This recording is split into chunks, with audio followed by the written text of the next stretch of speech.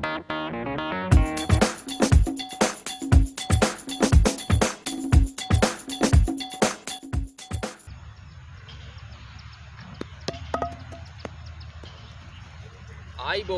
අද පිල්ලින්ජා YouTube චැනලකෙන් මං ඔයාලට අලුත් වීඩිය එකක් ගෙනාව. අද මං ඔයාලට කියලා දෙන්නේ වනිදු හසරංග වගේ ලෙක්ස්පින් පන්දුවක් දාන්නේ කොහොමද කියලා.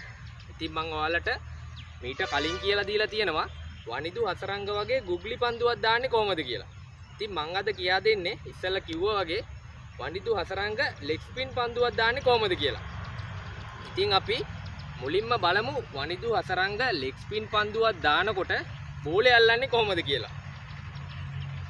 වනිදු හසරංග ලෙක්ස්පින් පන්දුව දානකොට බෝලෙ අල්ලන්නේ මෙන්න මේ විදිහට. මේ බලන්න.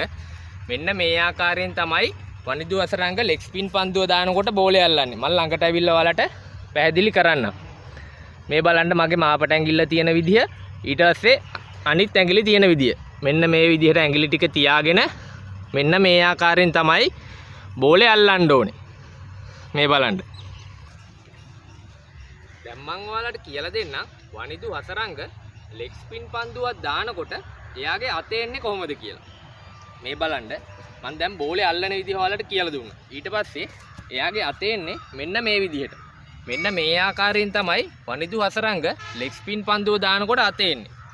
මේ බලන්න මම පිටිපස්සෙන් ඔයාලට පෙන්වන්නම් කොහොමද අතේ එන්නේ කියලා. මෙන්න මේ ආකාරයෙන් තමයි වනිදුගේ අතේ එන්නේ. දැන් මම බෝලයක් දාලා ඔයාලට පෙන්වන්නම්. බෝලයක් කියන්න. මෙන්න මේ විදිහට තමයි මේ බලන්න. දැක්කද? එතකොට තමයි හරියට ලෙග් ස්පින් එකක් විදිහට වනිදුගේ බෝලේ යන්නේ. ඒ කියන්නේ වනිදුගේ අතරංග යවන බෝලේ ලෙග් ස්පින් එකක් විදිහට හරියට යන්නේ. ඒ විදිහට හරියට අත ඇවිල්ලා එයා දැම්මොත්. ඉතින් ඔයාලට පුළුවන් එහෙම බෝල් කරලා ඒක හරියට ඉගෙන ගන්න. හරි. දැන් මං කියලා දෙන්නම් වනිදු අසරංග බෝලේ දානකොට බෝලේ කැරකෙන්නේ කොහොමද? ඒ කියන්නේ එයා දාන බෝලේ කොහොමද කැරකෙන්නේ? මෙන්න මේ විදිහට දානකොට දැන් ඔයාලා දැකලා තියෙනවා සමහර අවස්ථාවලදී බෝලේ මේ විදිහට වනිදු අසරංගක කැරකෙන බෝලේ දානකොට. හරිද? ඊට පස්සේ තවත් අවස්ථාවකදී මෙන්න මේ විදිහට බෝලේ කැරකෙනවා. ඒ කියන්නේ මේ පැත්තට. හරිද? ඒ කියන්නේ එයා දෙවිදිහකට ලෙග් ස්පින් එක අල්ලලා දානවා. හරිද? දැන් පළවෙනි ක්‍රමයේදී මෙන්න මේ විදිහට තමයි අර මං කිව්වා වගේ බෝලේ අල්ලන්නේ. මෙන්න මේ ආකාරයෙන් තමයි බෝලේ අල්ලන්නේ. හරිද? ඒ කියන්නේ සීම් එක මෙන්න මේ විදිහට තියාගෙන මෙන්න මේ විදිහට තමයි බෝලේ අල්ලගන්නේ. දෙවෙනි ක්‍රමේදී බෝලේ අල්ලන්නේ වනිදු මෙන්න මේ විදිහට මේ බලන්න. එතකොට තමයි බෝලේ මෙන්න මේ විදිහට කැරගෙන්නේ. හරිද? පළවෙනි ක්‍රමේදී බෝලේ කැරගෙන්නේ මෙන්න මේ ආකාරයෙන්. ඒ කියන්නේ මේ විදිහට දානකොට. දෙවෙනි ක්‍රමේදී මේ විදිහට බෝලේ අල්ලනකොට මෙන්න මේ විදිහට තමයි බෝලේ කැරගෙන්නේ.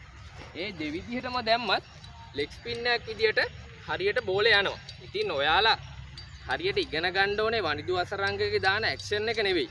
එයා හරියට කොහොමද බෝලේ අල්ලලා දාන්නේ. ඊට පස්සේ එයාගේ අතේ එන්නේ කොහොමද? හරිද? ඊට පස්සේ එයා බෝලේ දාලා ඉවර කරන්නේ කොහොමද?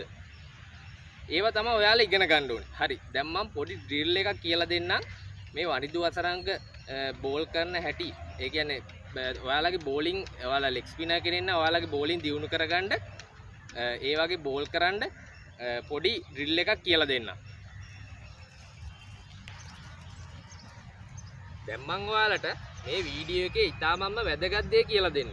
ඒක තමයි වනිදු හසරංග වගේ ලෙග් ස්පින් එකක් දානකොට අපි කොහොමද හරියට ඒක පුරුදු වෙන්නේ.